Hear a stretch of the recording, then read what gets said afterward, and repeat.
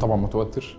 مش عارف هاخد deal من مين بالظبط بس متحمس برضو عارف إن إن شاء الله في آخر هيبقى فيها خير. لو ما خدتش deal هبدأ بالوحش طبعا. أه هشوف إيه نقط الضعف في الشركة وهحاول أنميها وإن شاء الله نكون أكون موجود تاني في season 2 أه بس لو خدت deal اول حاجة هعملها هو الشغل من تاني يوم على طول. الشركة تخلص في خلال أسبوع.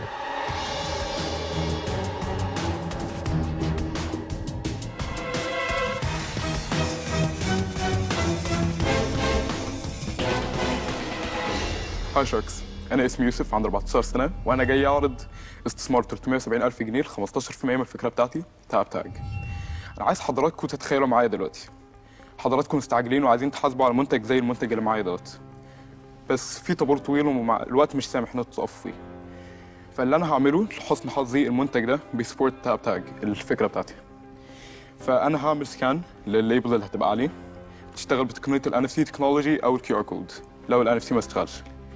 هعمل scan لل QR code اللي هيطلع هنا وهي دي عملية الشراء اللي بتحصل هيبقى يا إما application يا إما website بيفتح لو الشخص مش منزل ال application already هيبقى ليا ال option إن أنا يا إما أعمل express checkout من على الموبايل أعمل checkout للمنتج من على الموبايل يبقى ملكي بعد ما أحاسب عليه أو أعرف أكتر عن المنتج زي المقاس ال quality أي حاجة لو مش موجود في الفرع ده ممكن أعرف موجود في انهي فروع تانية basically أي حاجة ممكن الشخص اللي شغال في المحل ممكن يعرفاني بس بسبب shortage ال staff اللي موجودة ده هيساعد جدا في إن الناس اللي مستعجلة وعايزة تخلص المشوار بتاعها.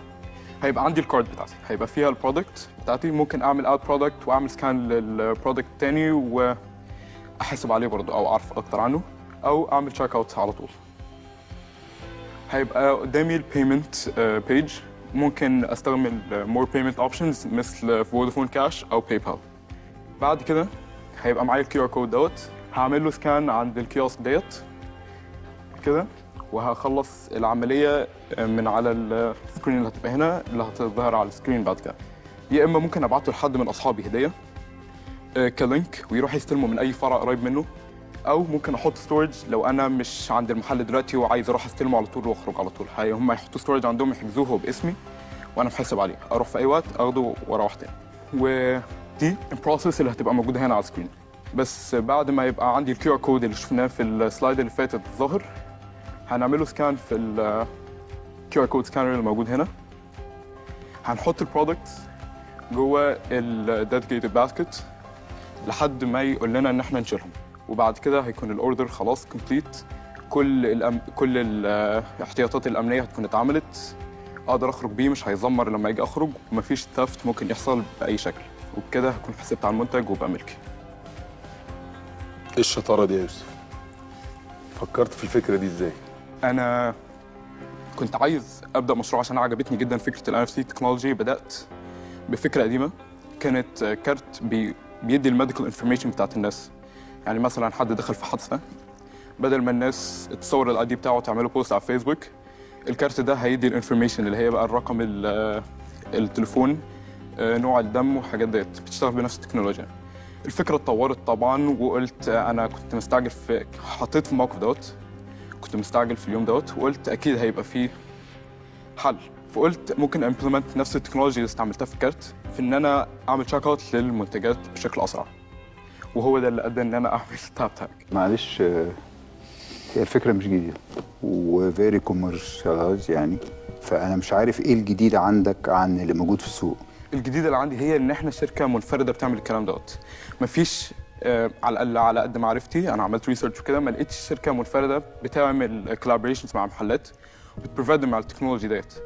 إحنا أكيد لما نيجي نعملها هتبقى advanced أكتر إن إحنا هنعرف الشخص اللي عايز يشتري منتج ال sizing لو مش موجود في الفرع ده يلاقيه فين ده هنعمل database كامل للمحل اللي إحنا هنعمل collaboration معاه وندخلها في تاج 6 سم في أي technology تانية في ال basket ولا؟ قدام حضراتكم هيبقى في envelopes ال envelopes ديت هيبقى فيها ال- ال technology اللي إحنا بنستخدمها جوه أنا اتواصلت مع مصنع already وقالوا لنا إن هم ممكن يعملوا merge لل RFID technology وال NFC technology إن هم يعملوا two operations في واحد في tag واحد.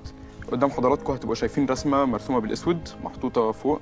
وفي زي sample صغير لل sticker ملزوق تحت برضه ال technology ديت أنا سألت المصنع قالوا لي إن مفيش حد استخدم ال RFID وال NFC technology دي. قبل كده أنا كنت قاعد مصنع بعت لي رسالة قال لي يوسف أنت كنت عايز حاجة زي كده إحنا لسه مخترعينها وعايزين نعرف لو أنت هتحب هتبقى interested فيها. قلت لهم أيوه طبعا أحب أعرف أكتر عنها. وظبطنا بقى ال pricing وظبطنا ال- ال freight والكلام ده كله. وزي ما حضرتك سألت جوه ال box ديت هيبقى فيه حاجتين. حاجة بتكشف ال NFC tag دي اللي بتشوف لو المنتج اللي أنا حطيته هو فعلا المنتج اللي أنا حسبت عليه من على الموبايل. عشان أنا ممكن بكل بساطة أجيب منتج أغلى وأحطه هنا أ mute ال mechanism وأخرج بيه وأبقى أنا حسبت على منتج أرخص. ده بقى اللي هيعمله هو ان هيشوف لو المنتج اللي أنا حاطه هنا نفس المنتج اللي أنا حسبت عليه. لو لائق هي detonate ال technology ال RFID جوه اللي مش هتعمل beeping لما أجي أخرج. فمش هيبقى في حتى ال tags السوداء الكبيرة اللي بتبقى ملزوقة على اللبس ديت. أنا لقيت إن هي ممكن تتشال ببساطة أنا كان عندي واحد نسيوه وإحنا بنحاسب. روحت البيت ولاعة كاتر شيلته اتشال بكل بساطة في البيت. الستيكر دوت ان بيلينج مش بيتشال إلا بعد كام غسلة. يعني أنا لو رحت محل عايز أسرقه اقعد أعمل كده مش هيتشال. لازم أروح البيت هغسل المنتج مرتين ثلاثة مثلا عقبال ما هو يتشال. لللبس بقى المصنع اقترح إن إحنا ممكن نعملها فابريك تتخيط من جوه. فدي أكيد هتتبعت للمصنع بتاع الهيد كوارترز بتاع اللبس. هتتخيط وكل الكلام ده هيتظبط وهتبقى بنفس العملية نفس كل حاجة بالظبط. ممكن يستعمل في أي حاجة مش لبس بس. اشمعنى 370 يعني مش 650 75 هي كانت المفروض هتبقى 15000 دولار بس ال volatility بتاعت ال market والكلام ده كله آه، اتغيرت. فالفكرة كلها الفلوس دي بس هتروح نحو إن إحنا نجيب ال first samples وإن إحنا نتواصل مع المصنع ونجيب أول kiosk نتواصل مع محلات marketing هي هتبقى commission based إحنا هنكلم المحل عايزين يتعاملوا معانا. تمام هناخد commission percentage ديت هنوديها للمصنع هنحطها نحو إن إحنا نعمل kiosk وال stickers ونبعتها للمحلات. عايز تدرس إيه بعد المدرسة؟ صراحة فكرت في business administration أحب إن أنا أتخرج ب MBA بس أكيد بعد ما أخلص bachelor's الأول. قدامك كام سنة في المدرسة؟ أنا قدامي أربعة. أربع سنين في المدرسة؟ أربع سنين ممكن ثلاث سنين لو خلصت ال A levels بدري. في حد معاك في المشروع ده؟ هو أنا أنا اللي عرضته على بابايا قلت لبابايا أنا عندي الفكرة دي بابا طبعا interested جدا إن هو يبدأ معايا business أه وريته شارك تانك أنا أصلا بتابع شارك تانك اللي في أمريكا وعارف إزاي الدنيا بتشتغل هناك. فوريته شارك تانك قال لي أنت تعرف تدخل على حاجة زي كده؟ قلت له لا دي في أمريكا لازم أبقى أمريكا عشان أدخل عليها. أول ما لقيناها نزلت في مصر قال لي يلا اعمل على طول روح pitch ال idea جبت shark أنا هدخل معاك. الفكرة كلها أنا محتاج shark علشان عايزين ال experience بتاعت حضراتكم. عايزين حد يوصلنا لمحلات عايزين اسمنا يطلع. هي دي الفكرة كلها. الفلوس اللي إحنا هناخدها دي مش هي اللي هت cover ثمن ال kiosk وال stickers إحنا عايزين بس ask بسيط جدا. مقارنة لبقية ال asks اللي بتطلع على ال show. عشان إحنا فعلا فعلا محتاجين shark يبقى معانا مين الزبون بتاعك؟ الزبون بتاعنا هي المحلات الكبيرة ال chains فانت المحلات أو التجزئة ال retailer نفسه مش المصنع. بالظبط. لانك كنت بتقول في حاجات ممكن تبقى بتتخيط نفسها من الأول في ال- بالظبط. فدي بقى إحنا هنتواصل مع المصنع ان إحنا نبعتها لل factory بتاعتهم. زي زارا مثلا. نقول لزارا إحنا هنبعت آه، المنتج دوت للمصنع بتاعكم ان هو يتخيط على الحاجات بتاعتكم. بس برضه ممكن تتحط جوه مسدس اللي هو اللي بيسعر الحاجة وتتحط في محل بقى للاكسسوارز لل mugs للحاجات دي كلها. تكلفتها 9 جنيه أنت كاتب في الجواب. بالظبط. بس الثمن ده ممكن يا إما يدفع من المحل نفسه يا إما يتضاف على الفاتورة يا إما يتضاف على ثمن المنتج أصلا. يعني أنا لو رايح أشتري مثلا تيشيرت ب 700 جنيه 715 جنيه هيتضاف عليه 15 730 السعر مش هيكون فرق كبير من السعر المبتدئ. أنت عندك كام سنة؟ أنا عندي 14 سنة. أنا مبهور منك. ما شاء الله. آه والله. أنت يعني آه، حاجة مثال فظيع يعني وبتتكلم كويس و... وعارف ال subject بتاعتك كويس. وفكرتك كويسة.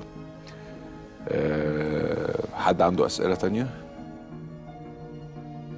ال- ال technology يا يوسف ديت تستحمل functions تانية ولا هي بس حتة ال- ال- التسعير وال- وال check out والحاجات ديت؟ يعني هتفضل attach لل product ويبقى ليها functions تانية آه، function زي إيه مثلا؟ مع يعني المعلومات أكتر تفضل موجودة عليها فيبقى أصلا part of ال features طبعاً. طبعا, طبعاً. إحنا ال RFID ده إحنا بنستعمله في المصانع وبنستعمله في ال shipping والكلام دوت وده كان من سنتين سعره دولار.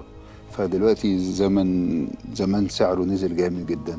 فده موجود في كل الصناعات ف... فال technology موجوده بس ال merge اللي إحنا عاملينه دوت ده المصنع هو اللي عامله وقال لنا أنتوا أول ناس هتستعملوا انت المصنع ده فين؟ مصنع في الصين إحنا تواصلنا معاهم ان ده هيبقى ال headquarters بتاعنا ده اللي هيوصل لمصانع آه، عشان ممكن يبقى في مصنع في تركيا.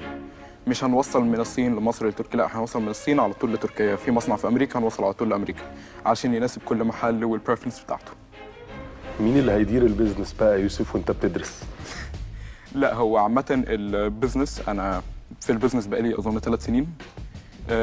دايما طول ما أنا قاعد لازم أعمل side hustle لازم أعمل business لازم أعمل حاجة. ما بالك ينفعش ثلاث سنين في ال business بقالي حوالي سنتين ونص مثلا في ال business سنين. دوت ولا عملت حاجات مش في تانية؟ ال business آه. مش في ال business دوت بالظبط. ال business ده أظن بدأ في 2022 أنا زي ما قلت لحضراتكم كنا بنفكر في الكارت الأول بعد كده اتطورت لحد ما بقت دوت.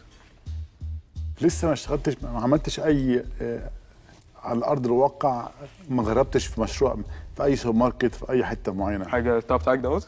آه.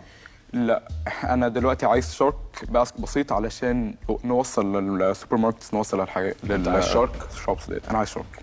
عايز shark. أنا عايز shark. مستعد تسمع الأوفر بتاعي؟ مستعد أسمع الأوفر بتاع حضرتك. أنا هديك أوفر. اديني أوفر. الأوفر هو الأسك بتاعك بالظبط. 15% ب 370 ألف جنيه. ده الأوفر بتاعي. وأنا مش هفاصل. أول مرة ما افاصلش مع حد. في أي شارك يحب يدخل مع أستاذ أيمن؟ أنا حابب أشارك مع أيمن لو أيمن أنا- ما عندوش مانع عش- أنا نفسي أساعدك. مبسوط جدا حاجة زي كده. عشانك أنت بس وعشان مجهودك أنا هعمل لك عشرة من ال stand دول for free طب حضرتك ممكن تاخد equity برضه؟ مش عايز equity لا أنا هدي حضرتك اكل خلاص ثلاث sharks. في shark يحب يدخل في ال deal دوت؟ بالتوفيق إن شاء الله بإذن الله. ربنا يوفق إن شاء الله. أيمن. موافق بس الأول ولا أنا لا أنا موافق طبعا. ربنا يبارك. وإحنا مش الله. عايزين حاجة غير إن إحنا نوقفك. على رجلك. إن شاء الله. إن شاء الله. أنا ما يعني بجد لو عندي كاس هديهولك. آه والله. آه والله. بجد والله. بالتوفيق إن شاء الله. إن شاء الله. ان شاء الله. أنا راضي فيك me too thank you حبيبي أنا مبسوط بيك جدا بجد. ربنا يوفقك إن شاء. الله. ألف مبروك. شكرا. مع السلامة. السلام. حاجة إيه ده؟ أنا أنا أصلا مش قادر أكمل. ببقى مقشعر من أول البتاع. مش قادر أكمل.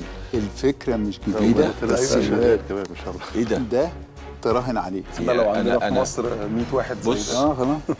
عمري ما ما قابلت واحد زي ده. آه في 14 عمري- سنة وشغال بقاله عمري 3 كله سنين. ما قابلت واحد زي ده. أنا خايف عليه من ال- من الحسد بس. اشترك في باقات واتشت الشهرية بتبدأ من 14 جنيه و99 قرش وباقات سنوية تبدأ من 150 جنيه.